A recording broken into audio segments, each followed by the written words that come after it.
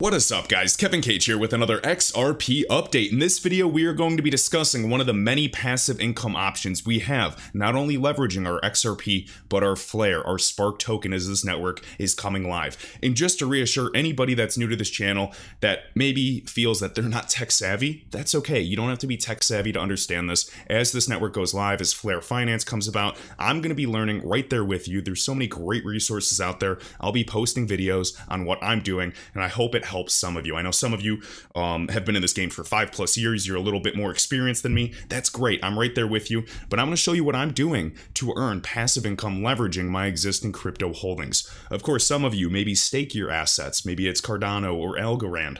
Um, others may even lend your assets out on platforms or CeFi platforms like Nexo or BlockFi or Celsius. And that's completely fine. And maybe others do some yield farming and liquidity mining to earn a passive yield, although there that does come with certain risks. Well, the cool thing about this is there's absolutely no risk. And we're to go through this. And for me, I like my money working for me. I run multiple businesses. I want to set and forget and keep working. I don't want to trade my time for money. I want my money to be working entirely for me where time is not a factor whatsoever. So let's kick things off. And I also want to say happy birthday to XRP, and then we'll get through the information. So, right here, guys, David Schwartz pointing this out. And this is happy birthday to XRP. And actually, I wanted to thank Bank XRP for bringing this to my attention again this year. Happy birthday on June 2nd, 2012. Arthur Brito, essentially one of the creators of the XRP ledger, created 100 billion XRP, at that time called XNS. So almost 10 years now. Can't believe it. We have David Schwartz, CTO of Ripple, pointing this out. Arthur's code that created the 100 billion XRP, then called XNS, on June 2nd, 2012, the birth dates of XRP. This shows a code push, but was obviously used. GitHub history that shows how many times we contributed and executed every single day. And please remember, Arthur Brito is still active, guys.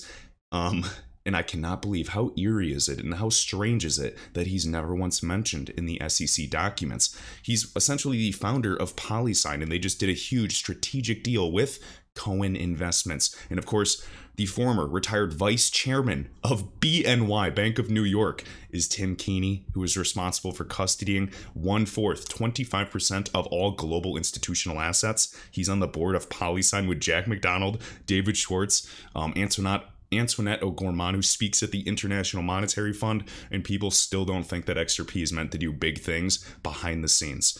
I don't get it, but teach their own, do your own research. So just wanted to say thank you, Bank XRP, for pointing this out. Also, pointing this out, here's another, another FTSO SP. This is FTSO.eu. Incredible. If you go to CoinMarketCap, the XRP market on Bitrue has no volume on XRP. That is not good. This just shows that there's inaccurate APIs or essentially an Oracle problem, and there's nepotism, or what should I say, kind of like favoritism at play here, as we know and well are well aware of CoinMarketCap's connections. If you go to CoinGecko, though, Bitrue is at the second spot for XRP volume. Cannot wait to see a real price based on solid data Flare Networks with the decentralized Oracle. And this is exactly what these Flare time series oracles do. Remember that community Flare, subscribe to his channel. He even calls these the heartbeat of Flare networks. Absolutely. So let's check this out for ourselves. We can see their screenshot. We can see Bitrue's in second place right here with the tether pair of over $500 million in volume on a 24 hour period on CoinGecko.com. But on CoinMarketCap, Bitrue is nowhere to be seen. Pretty strange. Obviously, we can see Binance 900 million. Um, we know Binance bought CoinMarketCap too, by the way. Um, what was that last year? Maybe a year or two ago for a couple hundred million dollars. And when that happened, that's when I knew in my gut that this market was meant for big things. We were sitting, even when we were sitting at a few hundred um, billion dollars in market cap, well, we've soared to well above 2 trillion, and it's because I'm paying attention to these fundamentals. So just wanted to show this, and I agree, you know, coin market cap should not be taken seriously, and this is another example of the Oracle problem. So let's take a quick look. We can see market cap overall is almost at 1.7 trillion again, just kind of retracing. Um, relatively a green day for the market, so that's good to see, but Bitcoin's dominance is still just under 42%. Right here, you click XRP, we scroll down, dollar three today, nice, and then we can see there's no Bitrue. And so we clicked XRP markets. You can see the volume. There's no Bitrue. How eerie is that? Well, now let's go to CoinGecko. And what do we do? XRP, go to the markets, and you actually, when you come and click markets, you're actually going to click right here, sort from largest, you know, to smallest. And we can see Bitrue is still in second place right here, just under Binance, 500 million plus in 24 hour volume. insane. And I encourage you guys to maybe go to like Coin Paprika and Live Coin Watch and other platforms to kind of compare this as well. Okay, so thank you, FTSO underscore EU, for pointing this out. Now, Happy birthday to XRP right here. So, FTSO.UK, we have a few groups out here, and I wanted to point this out. It's discussing passive income. This is not just some buzzword. We're trying to actually get people to participate in Flare networks because first come, first serve those that are first served are first served. Those that actually do participate, whether it's delegating your vote or maybe trying to participate in Flare Finance, the yield, meaning the overall return, is going to be higher at first. Once everybody gets in on this a year or two years from now, the opportunities gonna not um, be gone, but it'll dwindle down, just like anything. Just like the people that are first to stake, you know, ETH um, 2.0 are going to get aggressive yields compared to three years down the road after they successfully migrate to proof of stake. So that's very, very important, guys. We want our money to be working for us, and there's a plethora of ways to generate passive income with Spark. This is just one example. You can create feedback loops and essentially have the money working for you automatically if you actually like built your own smart contracts and things like that. It gets very, very powerful. Um, shout out to Martin Volk as well. So Looking to boost your passive income? The Flare Network's FTSO Flare Time Series Oracle Vote Delegation is a way to increase your Spark holdings without the tokens ever leaving your custody. They stay in your wallet, guys. This is risk free. And this is why I'm so comfortable talking about it on this channel. And this is what I'm going to be doing. So you're in complete control of your assets, your Spark.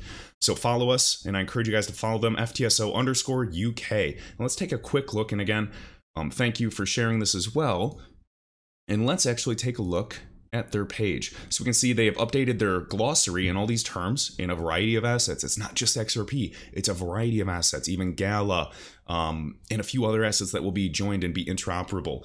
Um, ADA initially, but they're going to try to really ramp it up so it's legitimate, and I can't wait for this. So they have a glossary, they have all these terms you guys can learn more about, and a great website to refer to. So right here, Flare Time Series Oracle on Flare Networks. This is a UK-based platform. We have the um, EU platform, we have the Australian-based platform, and we're going to go through all of these in the future once all these um, the interest rates defined and see who offers the most aggressive return and maybe whose beliefs maybe align with mine. Because personally, you can actually vote yourself as a Spark holder. You can vote. But for me, I'm lazy. I want to, you know, keep focusing on building what I'm doing. So what I'm going to do is I'm going to be delegating my vote to one of these chosen SPs, signal providers. Okay? So you can go to their website, ftso.uk. We'll go right here. Flare Community Voting Made Simple. Delegate your Spark FTSO vote and participate in the rewards. Risk-free voting. Again, they never leave your wallet when using an FTSO service. That's something I really like. Their service will provide externally sourced data estimates to the Flare network in a decentralized manner. Infrastructure, we get it. High performance, cloud scalability, etc. So this is still in the works. Um, we can kind of go through everything if you guys are curious. Read about the Flare blog but just wanted to point one of the SPs that I am looking at, okay? Now, right here, shared by Tim Rowley and underscore AU, this is how I envision it will be to delegate delegate to an FTSO provider on Flare networks. This is just a concept, full disclosure, guys. This does not represent the full functionality of Flare networks, but I love this example and thank you for the tag, Simon or Simone. Let's check this out. So right here, we have the Flare balance of 1500 Flare. It shows the going rate for the Spark token at $1.25 currently. And now in this wallet, we see the assets. We have 1500 Flare, and we also have 100 XRP. You can add some tokens, you have the home, you can send them, you can even earn them. So check this out and see how easy this is. Even if, you know, your grandma's doing this and she has a little XRP, she can figure this out. So let's check this out. So we're going to hit play. You can see your Flare balance. You can see your XRP balance. We're going to click Earn. And now you have Spark. You can either delegate that or you can even wrap your XRP so it's interoperable on other networks, aka Flare networks. So let's click Delegate because we can delegate our Spark. And now you can click the percentage that you want to delegate. Do you want to delegate all 100% of your 1500 tokens? Or do you want to maybe use half of them and use the other half for something else? And because you can stake your assets as well, um, and then which provider do you want to choose out of these FTSO providers? So check this out. You can click this down and you can pick one of them. And so here's the three that I've been looking at. If you guys have any more, let me know. This is very exciting. So you can go through these depending on maybe the rate they're offering, things like that. Depends what you value when you delegate your vote. So they're going to pick FTSO AU. They're going to click 100% and then click delegate. And voila, you can see right there the delegation in the top right, ftso.com.au, and now they are delegating their Flare to earn additional Spark tokens. And you're going to actually see this right in your wallet. So this is just a high level example. Nonetheless, I think it's very easy, and this is the world of decentralized finance. And guess what, guys? Since it's decentralized, these rates that they're offering you are going to be way higher than these CeFi centralized finance platforms like Nexo, Celsius, BlockFi. So first come, first served. So I encourage all of us to participate in this game. Um, you can do what you want, but I will be doing whatever I can to help out and also be rewarded for it. So I'm definitely incentivized by this network. All right.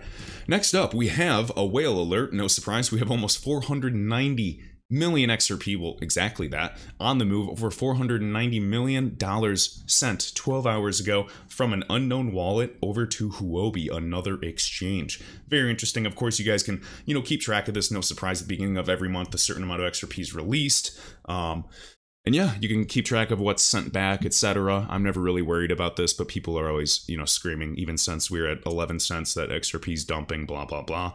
It's in everybody's best interest to have a valuable network, um, preventing spam, etc. So um, these this volatility of all these assets is just part of an early network. Same thing if you go back and watch Amazon, Apple, all these assets, and you go back and read articles in the early 2000s. I laugh so hard. I watch old news interviews these news anchors are saying, oh, we don't invest in internet stocks because they're volatile. They're just using silly jargon and buzzwords to deter the everyday average investor, realizing that the success case for these assets is absolutely unbelievable. So just wanted to point that out.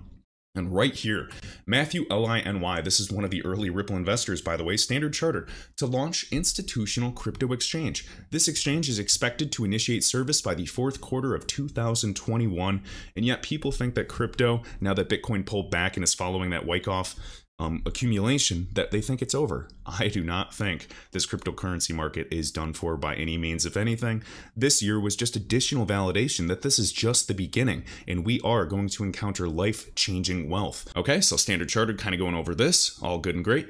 And also HSBC, another RippleNet partner, one of the kings in the world of transaction banking that maybe might not even like what Ripple is doing, says level the playing field. And of course, we've seen Chris Larsen on their, what was it, their technological board, and he's the executive chairman of Ripple. Pretty funny. Oh, right here, look at this, Morgan Mac. This is all you need to know. HSBC.com appoints technology advisory board. There we go, thank you. And we have Chris Larsen up there. So, yep, small world, guys, but I'm sure it's just another coincidence. And last but not least, we have right here, and this is just my opinion, sometimes the best way to shake the average retail investor out is by trending sideways for months and adding a few drops for good measure. Just like the quote of Warren Buffett, the stock market is a device which transfers money from the impatient to the patient. And I completely agree with this. If you guys have been here for several years or even just last year, you understand how quickly things can turn. When we were under 30 cents for XRP, maybe even like six months at a time, people were in never ending despair and depression. They thought it would never turn around. Um, and then I saw what was, uh, I forgot his Twitter name, his handle, because he changes it. Um, I think it's uh, Elon Trades, really cool guy. And he even goes on to say, you know, the average the institution is happy to wait three months to make $300 million but the average retail investor you and i is impatient to even wait three months to turn 10k into 50k and it's that's the difference between our psychology. Institutions understand how we always have to feel like you have to be taking a trade or doing something actively to make money. Sometimes the best way to make money in this space is by doing nothing at all. Now, I was just goofing around right here, and as the other famous quote goes by Kevin Cage, the crypto market is a device which transfers speculative value from the insane to the insane. TM. So I hope you guys enjoyed this. Give me a thumbs up if this did in fact help out a little bit. Keep in mind, this is high level. We're going to be going through this specifically, and I'll probably even show you, um, maybe not my specific wallet balance, but I'd like to show you me, and I'll probably let you guys know which signal provider I leverage. And truth be told, I can actually divvy it up. I can maybe do you know, uh, 33% with one FTSO and kind of dance between them and see who gives me the most aggressive rate, who my vision aligns with, things like this. And this is, get this, one of the many ways to generate passive income. There's a lot more. We're going to be going through it, whether it's via Flare Finance or Flare Networks. So be sure to like this video. It keeps the channel going, and I will catch you in the next one.